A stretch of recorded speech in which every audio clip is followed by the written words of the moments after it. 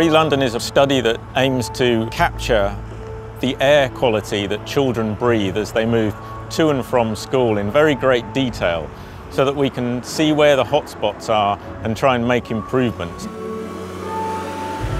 I feel excited for the children because it's a, a, real life experience, it's a real project that actually has meaningful value for them.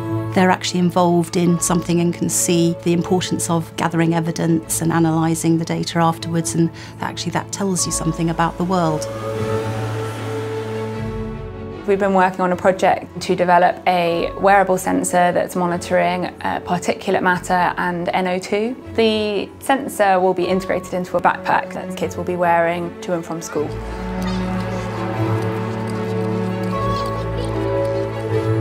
Air pollution is definitely a global problem. Up to 8 million people are dying prematurely across the globe because of the quality of air they're breathing.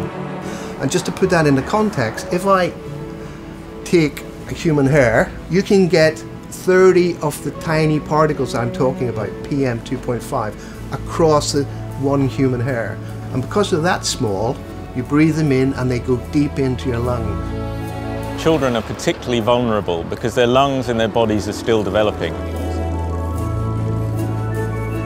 King's College London were brought in by the Mayor of London to provide an independent scientific evaluation of the air quality that these children are exposed to.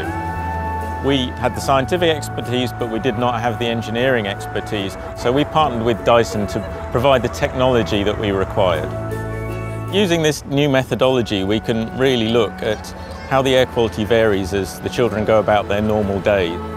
What we hope to see is a really detailed map of air quality around the target schools and hopefully we'll find evidence of improvement and change.